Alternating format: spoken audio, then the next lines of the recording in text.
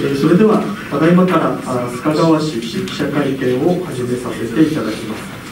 またはじめに資料についてなんですが、あ皆様にお配りしてますこの別冊資料につきまして、えー、ですが、あこちらの中に、えー、テレワーク環境整備推進事業、それから二十歳の集い、それからシティプロモーション事業につきましては、特にあのご説明はいたしませんので、えー、ごご質問等がある場合には、6のその他において、えー、合わせてお願いいたします。それでは説明させていただきます。えー、1番、令和4年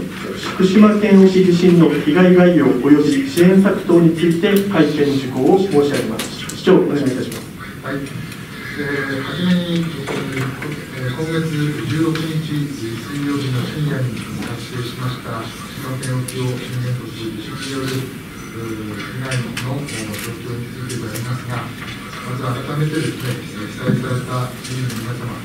そして事業者の皆様に心からお願い申し上げます。昨年2月にも大きな地震によって被害が続いてしまったという状況に皆さんされている方も数多くおられるというふうに思います。市としても対応に全力を挙げてまいりますので、ご理解をいただきたいと思います。それでは、現時点での被害状況についてであります。負傷者等につきましては、軽傷1名となっております。市内各施設の被害状況でありますが、公共施設は市民交流センター、テッペをはじめとする57の施設で被害を確認しており、道路につきましては、市道の路面損傷など44箇所、農業施設はため池ののり面や農道の停止など11箇所、商工業関係は80事業所で約7200万円程度の被害があり、下水道施設では2箇所、その他として有形文化財で2箇所の被害を確認したしています。次に、えー、今回の地震災害に伴い発生しました災害廃棄物の受け入れについてであります。今月20日日曜日から土管園に西側の駐車場にをしまして事業者を除く市民の方を対象に災害廃棄物の受け入れを開始しております。受け入れ期間は今月27日日曜日までとなっております。なお、受け入れ時間にしましては、午前9時から正午、そして、えー、午後1時30分から4時までとなっております。次に災害廃棄物を搬入する際でありますけれども、運転免許証等の本人確認ができるものと、スマートフォン等で撮影しました画像等の被害状況が確認できるものをご持参いただきたいと思います。また、災害廃棄物仮置き場への搬入が間に合わなかった場合にしましては、あるいはその搬入方法がなく持ち込めなかった場合などにしましては、個別収集を行いますので、担当様でご相談願いたいと思います。次に、被災証明書、被災証明書の交付および調査の受付についてであります。昨日から市役所2階のウルトラ会議室隣に臨時申請窓口を設置し、受付を開始しております。受付時間は平日の午前9時から正午まで、また午後1時から5時までとなっております。受付にあたりましては、一部損壊の罹災証明書の交付もあるため、窓口での申請を基本とさせていただく、電話での受付は行ってはおりません。なお、窓口に来られない方にしましては、郵送での受付も可能となっております。交付申請時には、被災状況が分かる写真や修繕の処理書等をご持参いただきたいと思います。えー、手続き内容につきましては、資料に記載の通りであります。次に、災害見舞金の給付についてであります。今回の地震災害によりまして、住居に被害のあった世帯に対して、災害未満担い金を給付いたします。給付額は全会で10万円、半会で5万円となります。救済賞にしましては、減収中住居に全会、大規模半会、中規模半会、半会の罹災証明書が交付された世帯となります。続き方法にしましては、資料に記載のとおりでございます。次に、災害弁護士金貸し付金についてであります。海外の地震災害によりまして負傷または住居家財の災害を受けた方に対して生活の再建に必要な資金を貸し付けをいたします貸付限度額は資料の通りであります、えー、被災証明書の発行も申請手続きもありますので申請に関わる必要書類等について後日市のホームページなどでお知らせをいたします住宅の応急修理についてであります。本制度は住宅が準半壊、半壊、中規模半壊、または大規模半壊し、自らの視力では修理できない世帯に対し、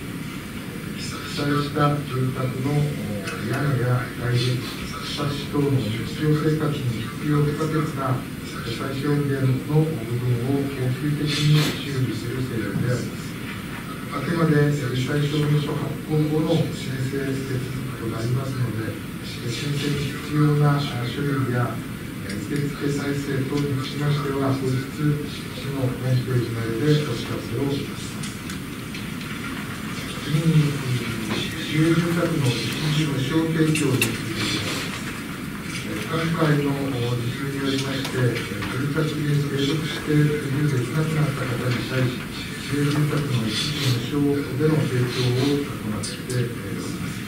使用資格などにしましては、資料に記載のとおりであります。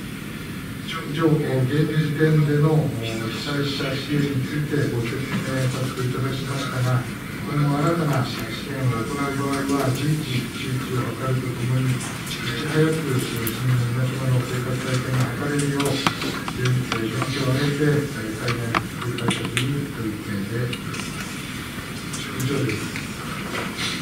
それでは質問に移ります。1番令和4年、え福島県沖地震の被害内容及び支援策等について、え質問がある方は挙手をしていただきまして報道機関名と氏名を述べてからお願いいたします。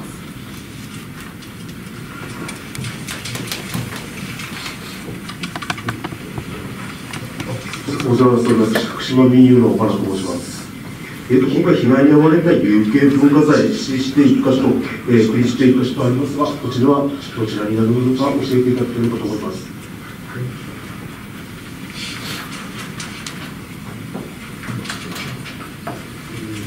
ちらにつきましては、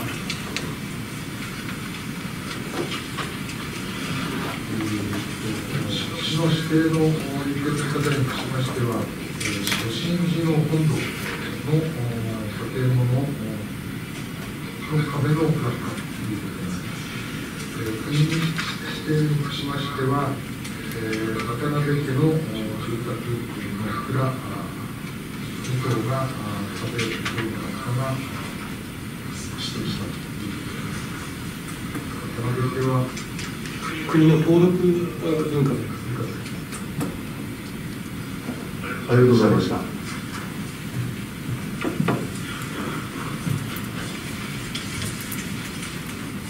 その他ご質問はございませんか？よ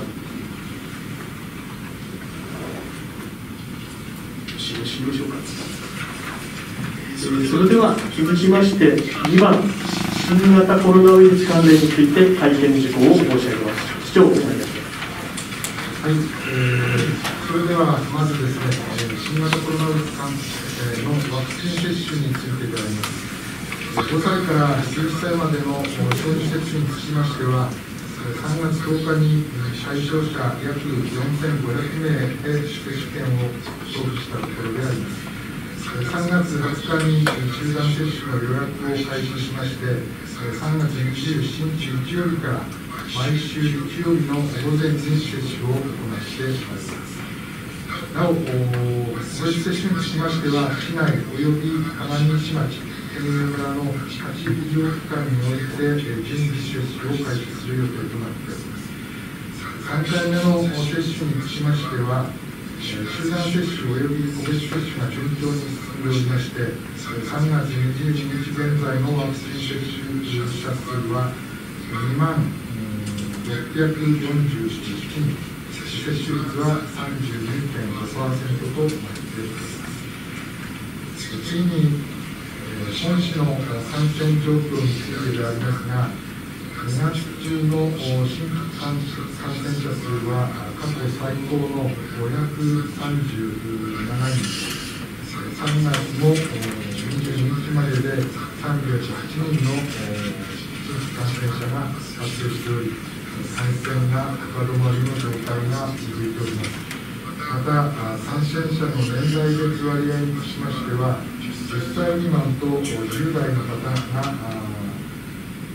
全体に占める割合は、今年になってから急激に増加しておりまして、3月においては44%を占めております。これまで、え、市内小中学校においては学級閉鎖などによって対応してまいりましたが、え、昨日から春休みに入りまして、子どもがご家庭で過ごす時間や友達と交流する時間が増えることが想定されます。子どもの感染防止対策については、これまで以上のご理解、ご協力をお願いするとともに、年度の終わりを迎えまして、人の移動が多くなる時期でありますので、引き続き、市民の皆様の感染防止対策の徹底をお願いいたします。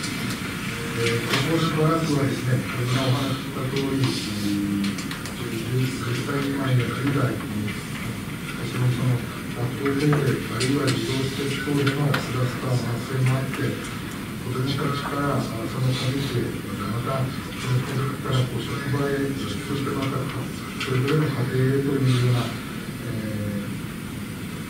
ー、が繰り返される大変悪い流れをなかなか断ち切れない状況が続いている状況にあります。また、大変心配しておりますのは、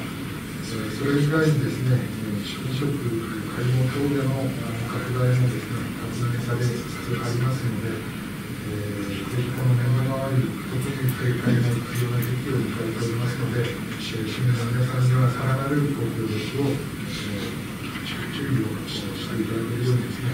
お願いをしたいと思います。以上です。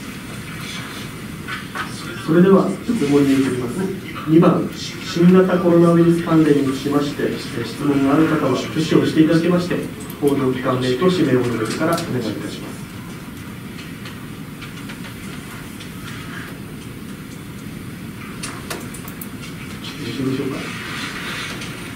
それでは続きまして、3番、令和3年度須賀川市認定工業製品の認定について会見事項を申し上げます。市長、お願いいたします。はい、それでは次に、令和3年度須賀川市、え認定工業製品の認定についてであります。今回新たに株式会社ゼファーの IGA 抗体マスクを認定をいたしました。なお、本製品は福島民放社主催の第7回福島経済産業ものづくり賞の認証を受賞しております。また、昨年11月には、本市にこのマスクを寄付していただいたところであります。今後も市内企業や企業が製造する工業製品につきまして、市内外に PR してまいりたいと考えております。それでは質問に移ります。3番、令和3年度須賀川市認定工業製品の認定につきまして、質問がある方は挙手をしていただきまして、報道機関名と氏名を述べてからお願いいたします。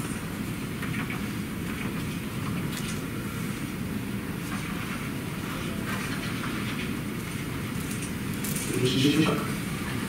えそれでは続きまして、え4番、みんなで踊ろう、防弾ソングについて会見事項を申し上げます。市長、お願いいたします。は、次に、みんなで踊ろう防弾ソングについてでありますが、本市のマスコットキャラクター、ボータンは、例年ですね、市内の各種イベント等に数多く参加しておりましたが、え今般のコロナ禍の影響によりまして、え市民の皆様や子どもたちと触れ合う機会が少なくなってきております。そのため、えータンを広く PR し、より親しみを感じてもらえますよう、本市の魅力を盛り込んだえータンソングを作り、曲に合わせて誰でも簡単に踊れるよう振り付けをするとともに、市内の幼稚園や保育園の皆さんなどが楽しく踊るプロモーションビデオを制作をいたしました。今後は YouTube やウルトラ FM 等で紹介し、さまざまな場面で活用いただけるよう PR していただきたいと思います。以上です。それでは質問に移ります4番みんなで踊ろうウォーターソングについて質問がある方は挙手をしていただきまして報道機関名と氏名を述べてからお願いいたします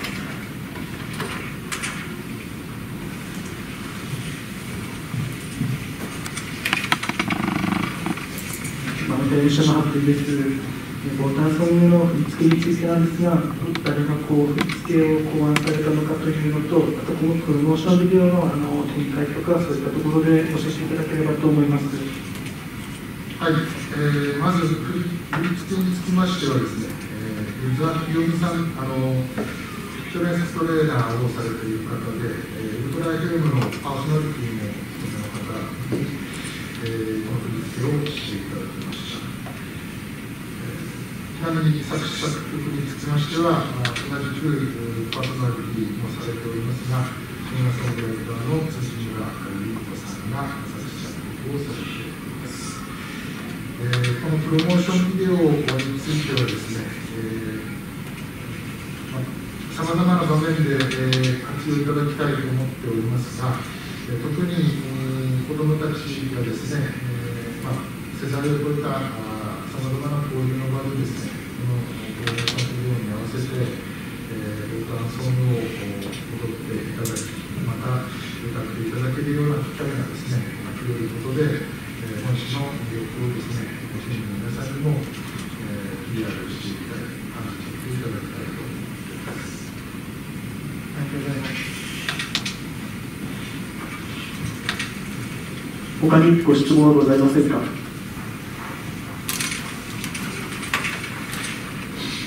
それでは続きまして、え5番市職員の在宅勤務及び自殺手記について会見事項を申し上げます。市長お願いいたします。はい、えーそれでは次に、市職員のですね、え在宅勤務及び自殺自殺出勤についてであります。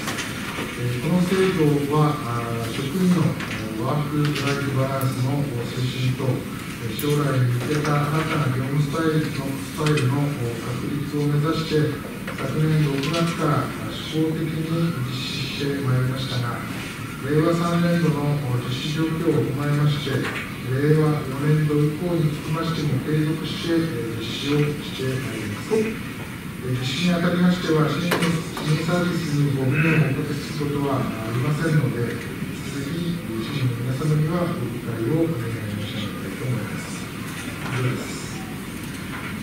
それでは質問に移ります。5番市職員の在宅勤務及び自殺式につきまして質問がある方は挙手をしていただきまして報道機関名と氏名を述べてからお願いいたします。よ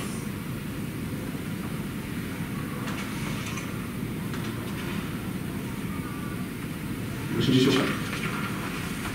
それでは続きまして、え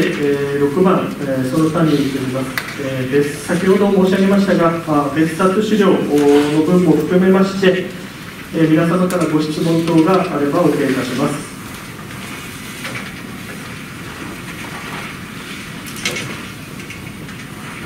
何かございますでしょうか？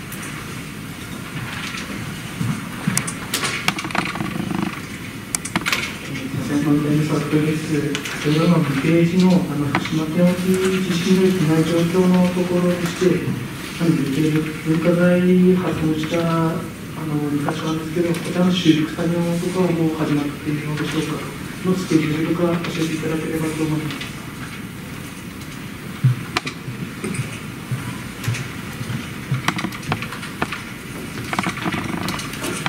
障害がたくさんのです。えっと今回の2箇所なんですが、あのご新地本堂と、あと渡辺家住宅の蔵2箇所ですが、一応、ご新地参考につきましては、あの内壁の白壁が剥離して若干こう落ちた、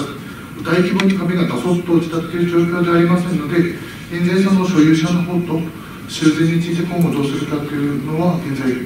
相談中であります。同じく渡辺家住宅のの壁ででございますが、これにつきましても、あのひびが入っているような状態、あと若干あの、あの土壁にですね、あの下の部分が若干こう、角がちょっと崩れちゃったという状態なので、これを修復するかしないか、あの被害が微妙なあのすごく小さいものですから、これにつきまして、やはり所有者の方と、今後その部分直すかどうかというのは今、協議を進めているような状況であります。以上であります。ありがとうございます。その他、ご質問等ございませんか。よ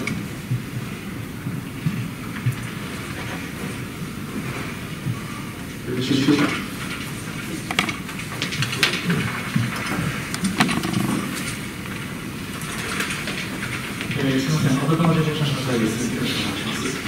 えー、別冊資料4号ページの、えー、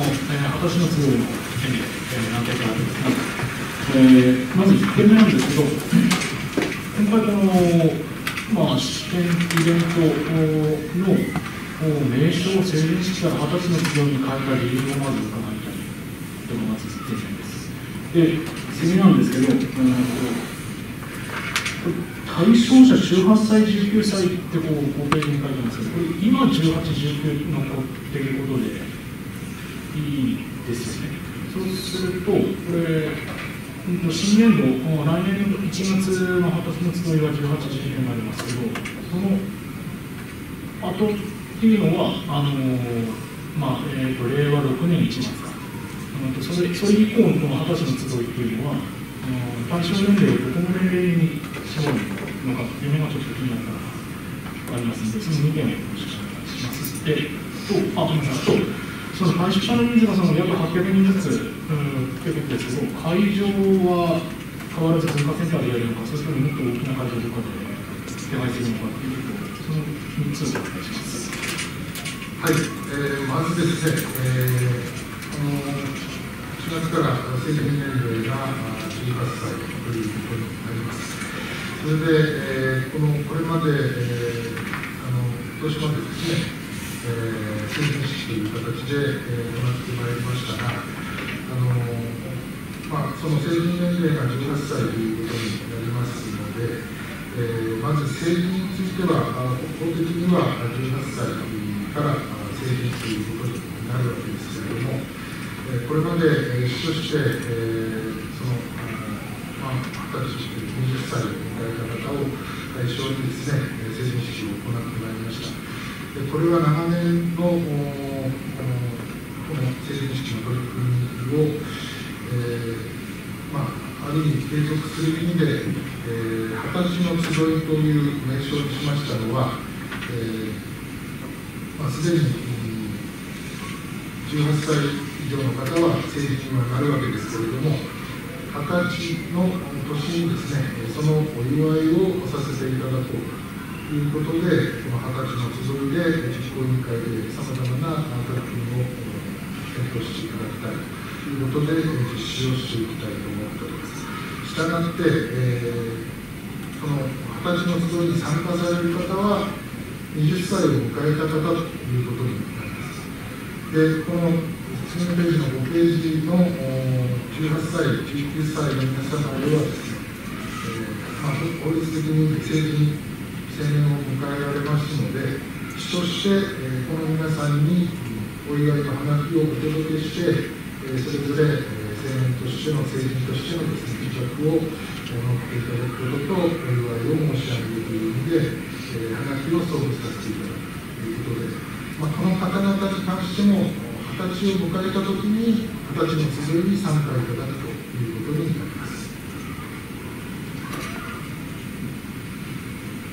それぞれ。そう別のってことそうです。あ、すみません、ありがとうございます。他にご主張はございませんか？よ